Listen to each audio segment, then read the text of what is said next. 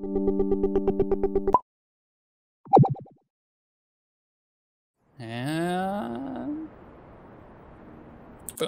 In fact, with the amount of fuel we have, we could go to Duna and back. However, that's not what we're going for here. What uh, the goal, the idea, is to get that orbit, get that mission complete, which is really really nice, and then land the rover. Rover's not coming back. Rover's going to stay there. And I've noticed that it's pretty good to have. Whoops, too much. Wrong button. Uh, to have a rover on, or at least an orbital station around most of the bodies within the Kerbal system, because that way when you get missions that are like, take a uh, soil sample or you know measure the gravity or the temperature then you could do that with those stations and or rover or whatever and be able to finish those missions pretty easily. So there is some benefit to doing that. Now the story implications for what's going on here is this mission was already planned for quite some time. We've been planning it since we went to Minmus to go to Duna in some way. We probably were going to send the Magnus rover, but we learned from that mistake. The Magnus rover was a really, really good rover. It's just, it needed uh, some refining. And for a planet that takes a very, very long time to get to, Duna, right, we're going to make sure that we have a rover that can do the job that we needed to do, which is mostly to survive. Just survive in that environment until we can get a bigger mission to go there, and then send crew down and maybe fix it up, add more parts to it if we need to, stuff like that, and maybe you know start setting up bases. One of the missions that I've been getting a lot of is like set up a functional base on the moon, set up a functional base on Minmus, set up an orbital station around Minmus, and that gives you a lot of money. So we're probably going to start doing stuff with that uh, as well. Now this, while it's kind of a wonky orbit, it'll it'll work. So I have to do the, oh, just this thing looks so cool. I really do like it. I have to do the arduous task of setting up my transfer orbit to Duna. So I'm going to do that right now. So set this target and now the fun part. So I had to speed up quite a bit. We were like off over here in our orbit. And uh, this was pretty much the best transfer window that we had. So we're doing this, and it looks like it'll be pretty good. Like if, you know, if you really want to see what our orbit's doing, it's just kind of going off that direction, basically. We don't actually have to burn for very long, but we're going to come in pretty good. I got a really good approach there. Uh, it's it's knowing the transfer windows really helps. I'm not very good at it, but I happen to have gotten pretty lucky with this one. That's kind of put us a little closer than we want to. So once we start getting close enough, you know, like out out over here on my orbit, I'm gonna try to adjust it enough that my orbit that I want to make for the mission is close enough, and then that way I can kind of adjust it and get it get it where I want it to be, right? So that should uh, that should work fairly well. I'm not too concerned about that. The one thing I am concerned about as we're making this burn is if you see in here Maybe. Let me turn on my lights before I go in. So I have like this structure around the the rover itself, which is kind of holding it in place. The one thing I'm concerned about is I don't want it to knock against the rover when I detach it. It has a detach has a couple detachment points. One is right here and the other is down there. So this will detach first, get us away from this booster as we're going into the atmosphere. And then this will detach and get us away from this, hopefully. I don't want this knocking around on me, so we're we're hoping for the best there. But for the most part, it's it probably should have been tested beforehand, but it hasn't been. So we're yeah, we're hoping for the best. Wow, once that line starts going, it starts going quick. It just like popped out of nowhere and just like started going, which is crazy. But I, like seeing that. It makes me makes me happy because you're like, oh wow, look at that uh, look at that maneuver we're making. It's still miraculous to me. This game blows me away every time I play it because doing maneuvers like this is just really really cool. Just to think you know, NASA does this on a fairly regular basis. And, you know, so do other space agencies, not just NASA, I guess. I mean, SpaceX, for one, just launched their first, uh, like, deep space mission. So that's pretty good. And boom. Nice. So we can remove that. We're going to just quick save in case anything goes wrong. You never know. As that does that. Perfect. Okay. Cool. That's all looking very, very good. That's much further away than what I wanted it to be. Let's look at this mission, right? So this mission is uh reach designated. So what's designated? So about 3 million and 2 million apoapsis. And it's got a weird degrees going on. It's 74 million. So we can get uh, a little bit closer there. And we're probably going to have to completely change the angle anyway, so I'm not too concerned. I just want to get close enough to it. All right, so at about here is when we'll slow down a bit. And just kind of like what we did previously, and if you get closer, you realize how far away those two um, closest approach things are. So let's. Okay. Why is. I don't want to see that mission. I don't want to see that mission. There's only one mission I want to see. It's this one. Okay. So we're going to go like this. We're just going to tweak my orbit until I get something that I'm happy with.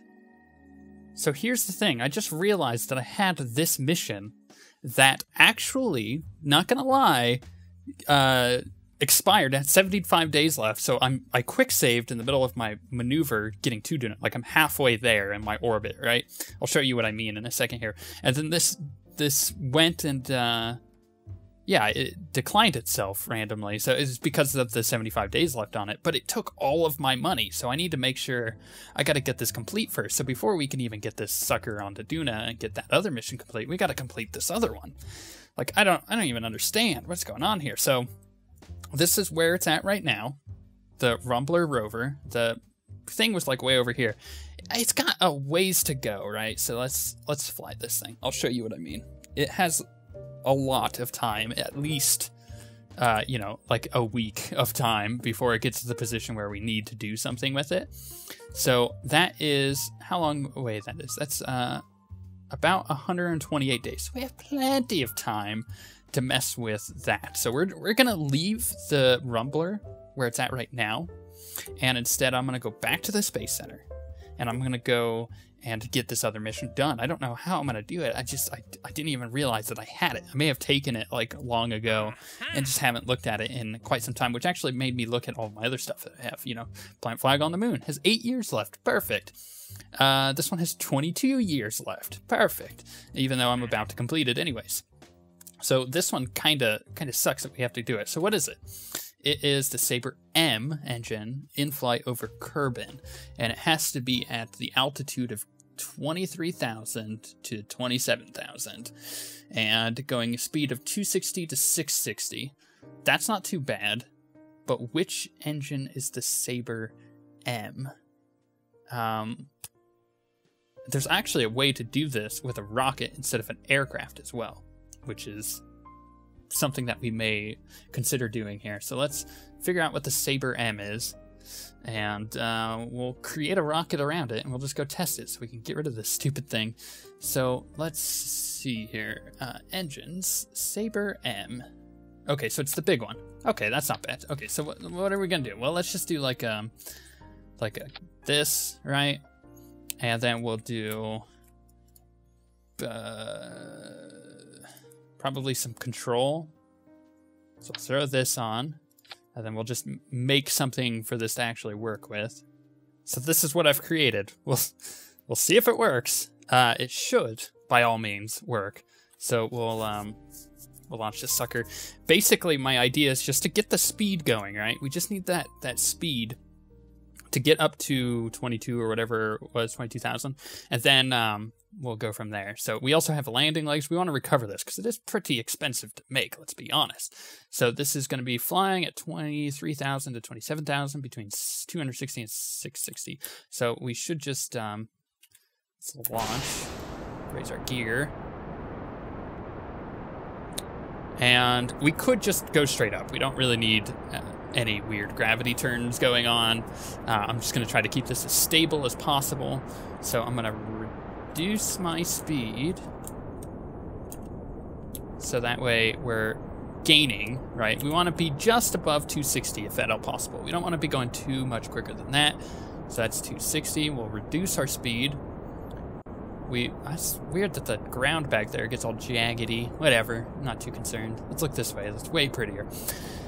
So that's going at 300. So we're still gaining. We want to bring that down a bit. Oh, geez, I'm almost out of fuel. Push it all the way up. I don't think that's going to be enough. Dang. I think I'll need more fuel in order to do this. All right, let's try this again. I added more fuel and I set it to day. Gear up. So it's showing that I have less because I, I took the fuel and the oxidizer out of that middle one. We just need enough fuel for that to do its thing, right, in order to, to launch the middle engine there. Okay, so once again, we're doing 260, so we're at that now. Want to get a bit faster than that, maybe. Maybe 400? Let's do 400. 400 is a good medium. Plus, it'll finish the mission quicker. And we just need to be at 23,000. So 400, okay, cool. We'll just pull down our engines. Should have plenty of fuel at this point because we're burning less. I can't wait for the new aerodynamics to come in. I know we mentioned that before, but I think that it's going to really affect some of these weird craft that I'm making. Like, I don't know if this thing would actually fly, but it's, it's fun nonetheless. We're at 15,000. We're going almost 500,000 meters a sec, or 500 meters a sec, 500,000 meters a sec. Jeez, we'd be hauling butt. That would be incredible. But at this point, no, we're, we're, we're not. So, we're there. Are we? 23? Okay, cut. Boom, got it. And we don't need it to go anywhere. We just need this now to slow down. And wow, we just got so much money for completing that. A lot. Uh, we're at 832,000 after our launch to Duna. So that's pretty good. Plus, we're about to get another 400,000 for doing the, the Duna mission, too. So perfect. Perfect. I'm loving it. Cool. That's doing its thing. This will eventually slow down. So we may be able just to. Oh, yeah, yeah, whatever. And it's going to gently bring us back to Kerbin. Despite being like uber sped up here, you know, I've got physics thing going, it's staying fairly fairly steady. Okay. Uh should I hit the No, I'm going to wait for the parachutes. I'm just going to wait because I, I otherwise I'm going to be floating for a very long time getting down. Okay, now it's parachute time. Boom. Quit quit your spinning. Quit quit it. Quit it. Stop. Stop it. Stop. no, not the other way either. No, not that way either. No, just, I'm just going to have to be gentle. Just don't break apart. Uh, uh, uh. Okay. You know what? Let's get our gears going. Where are we going to land? Are we going to land on a building? No, we're good. Good. uh, because that would have been terrible. And we might be going way too fast. It might just explode right here. Don't, don't you do it. Don't you do it.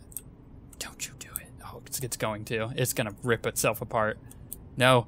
No, no, no. No. well, I mean, good effort, right? If this survives. Nope. It's cool. We're good. We got the mission done. I don't even care. I don't know about that uh, debris, though. We're going to have to uh, deal with that eventually. Okay, uh, I don't want to revert. Get out of here. Space Center. Boom. We're living with the consequences of not building that properly. It just, it was going in too fast. That's fine. Now it's time to get back uh, over to our Duna mission. Now that we actually have, yeah, that's done. Perfect. And what are, what money are we at now? 832,000. Loving it.